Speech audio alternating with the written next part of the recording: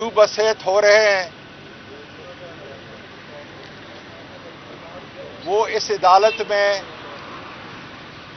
पेश हो सकते हैं या नहीं? अदालतों में किसी भी मुलजम का पेश होना कानून और हमारे अदालती निज़ाम का हिस्सा है। हमने कभी भी ये नहीं कहा कि इमरान खान अदालत के अंदर जो है पेश नहीं होंगे। वहाँ पे एक्सरे बताए गए। वहाँ पे ये बताया गया कि इमरान खान पर कातिलाना हमला हुआ है। इस वक्त मिलत इस्लामिया का सबसे हरदल अज़ीज़ मुल्क पाकिस्तान के दिलों पर हुकूमत करने वाला इमरान खान है। इसी तरीके से बताया गया कि कारसाज के अंदर बेनजीर भुट्टो के ऊपर, बेनजीर भुट्टो शहीद के ऊपर कातलाना हमला हुआ, जिसको उस तरीके से नहीं देखा गया और फिर उसको शहीद किया गया। अब देखें कि अगर अदालतें आज़ाद हैं और होनी चाहिए तो इन मुझे यकीन है कि जज साहिबा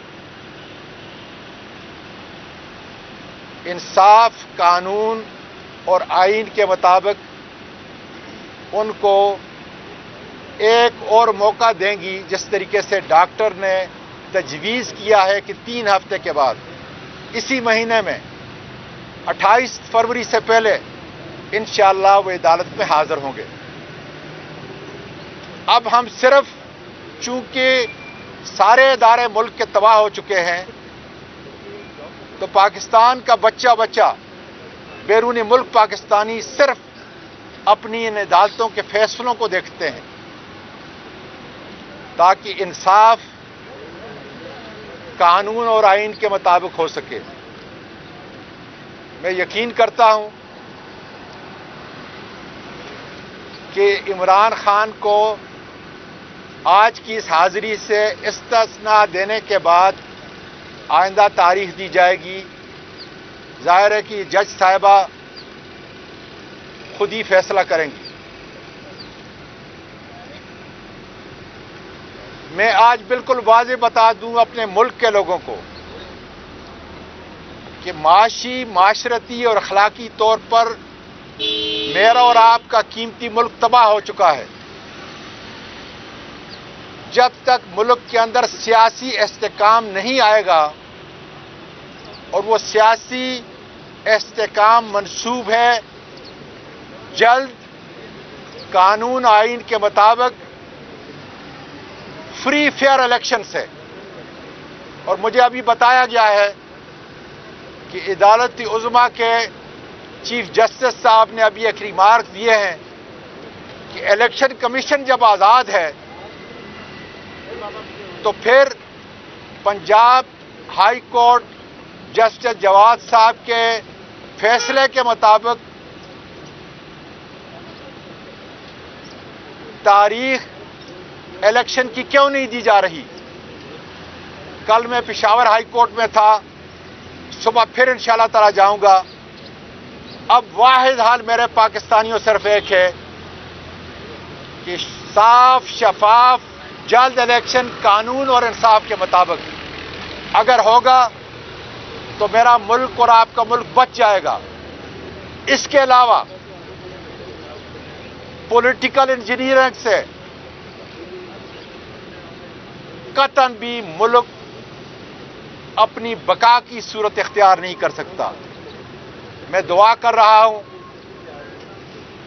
उम्मीद रखता हूँ कि हमारी अदालतें वो साफ़ शफाफ इलेक्शन की तरफ़ कानून और आइन के मुताबिक अपने फैसले सादर करेंगी, इंश्योर करेंगी कि मुल्क के अंदर जो पॉलिटिकल स्टेबिलिटी है वो आ जाए और जब पॉलिटिकल स्टेबिलिटी आ जाएगी तो माशी इसकाम इन ताला, इतने बड़े मुल्क के अंदर फिर से दोबारा हमारी फैक्ट्रियाँ चल पड़ेंगी। और मेरा ये मुल्क अपने कदमों के ऊपर जो है खड़ा हो जाएगा। बहुत बहुत शुक्रिया आपका। सर, एक सवाल ले लें, आखिरी सवाल ये है कि एक साफी ने कहा है कि मकबूलियत के साथ साथ कबूलियत की भी ज़रूरी होती है पाकिस्तान की। पॉलिटिक्स में जिस तरह पहले बाजवा डॉक्ट्राइन था और हाफिज डॉक्ट्राइन भी पीटीआई के हक में नहीं है।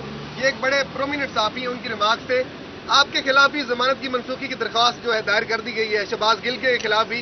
क्या कहेंगे? अभी तक उनको कुछ मिला नहीं है मेरे ख्याल में। देखिए हम फिर ये कह रहे हैं, आखिरी हद तक हम जाएँगे और अगर अदालतों के इंसाफ के दरवाजे खुलेंगे, फैसले होंगे इंसाफ के मुताबिक, कानून के मुताबिक आइन के मुताबिक। तो कोई चीज़ हमें उस रस्ते से जिस पे पाकिस्तान ने आगे बढ़ना है, रोक नहीं सकती। ना आज़म सवाती को जेल में डालने से मुल्क तरक्की करेगा, ना इमरान खान को अपने रस्ते से हटाने से जो है ये मुल्क तरक्की कर सकता है। मुल्क तरक्की वो इस तरह से करेगा जबकि 22 करोड़ लोगों को उनके वोट का हक, जायज़ हक, बुनियादी हक वक्त के ऊपर कानून और आइन के मुताबिक दिया जाएगा। तो आपका और मेरा पाकिस्तान इंशाल्लाह और ये सारे इदारे फिर दोबारा उठ खड़े होंगे। इसके रस्ते के अंदर अब अगर कोई भी रोड़ा अटकाएगा, कोशिश करेगा कि रुक जाए इन पाकिस्तान का वोटर अभी सबर नहीं करेगा। इमरान खान ने पहले कह दिया है कि चंद दिन इंतज़ार कर रहे हैं, उसके बाद जेल भरो की मुहिम इन शुरू करेंगे। और इसके अंदर वकला का, मेरी खवातीन का, बैरून मुल्क पाकिस्तानियों का, और ख़ासकर स्टूडेंट का बहुत बड़ा रोल होगा कि हम पाकिस्तान को हमेशा हमेशा के लिए आज़ाद और ख़ुद मुख्तियार मुल्क बना दें। बहुत शुक्रिया जी।